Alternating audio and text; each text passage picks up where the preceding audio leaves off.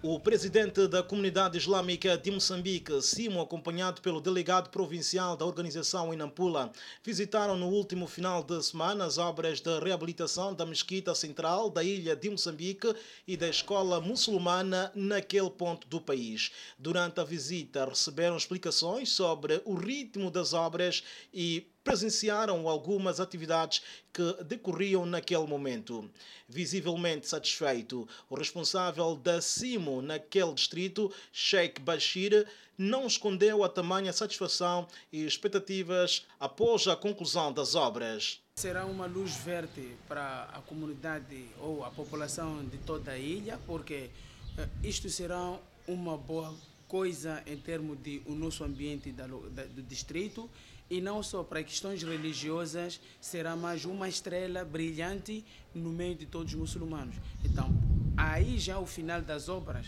será uma coisa que vai chamar a atenção, mesmo aquela que vinha com fracasso de participação religiosa, aquela que vinha contra as ideias falsas em relação à religião, vai ver que afinal de contas esta religião não veio para criar desunião no meio da sociedade. Porque muitas das vezes as pessoas olham para o Islã como se fosse uma maldade para a vida humana, enquanto que o Islã, o objetivo principal é para fazer a união do o ambiente civil e, e, a civilização ou não a, a, forma de convivermos juntos num ambiente pacífico. Então, com esta conclusão da escola e essa obra pronta, será mais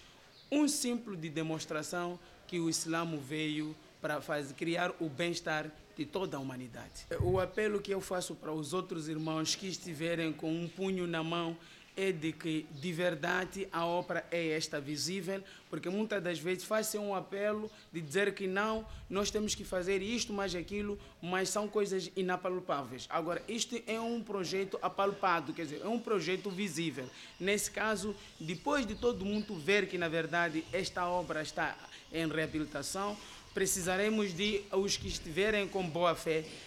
estentem a mão para dar um empurrão para ver se a obra de verdade chega no seu final e sirva para toda a comunidade desse distrito. Lembrar que assim a comunidade islâmica de Moçambique tem o privilégio de ser concedida autorização para explorar por tempo indeterminado estas duas infraestruturas que fazem parte do Patrimônio Mundial da Humanidade declarado pela Unesco.